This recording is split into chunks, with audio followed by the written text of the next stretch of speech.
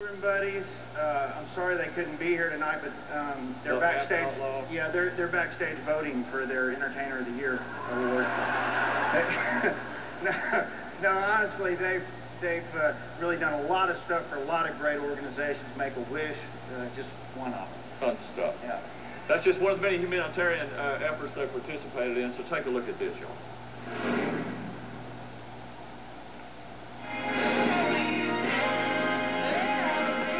Giving back every day isn't just something Rascal Flatts sings about. It's something the band lives.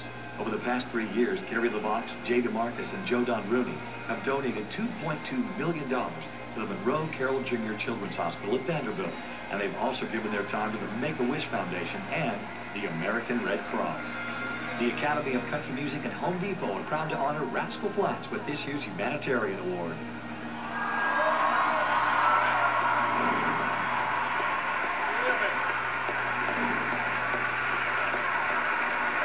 Ladies and gentlemen, tonight's recipients of the Home Depot Humanitarian Award. The Rascal Flatts.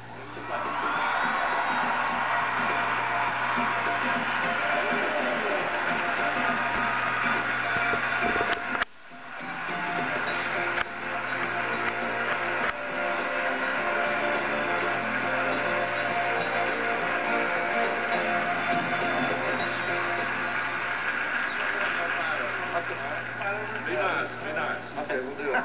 There you go, Jay. You know, we're, uh, thank you. We're so humbled and honored to receive this tonight. Out of all we've been given, this is probably one of the most special. And uh, we've been firm believers that if you get, you give back. And that's what we've tried to do. And I, and I want to challenge everybody out there to give your blessings back because they will come back to you 100 times over, I promise you background real quick.